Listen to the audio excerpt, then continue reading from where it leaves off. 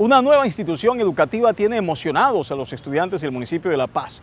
En poco tiempo inicia la construcción de la nueva sede de la institución educativa San José, que fortalecerá la calidad educativa del departamento del Cesar.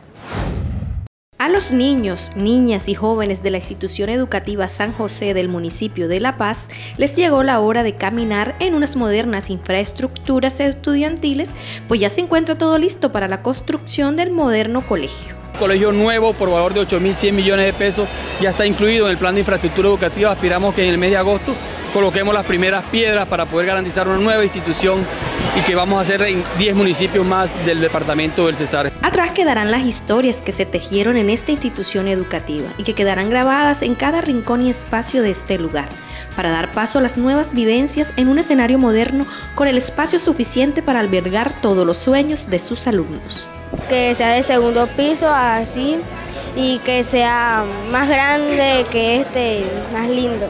Que tenga sala informática, que, que no sea desordenado, que tenga cancha de fútbol.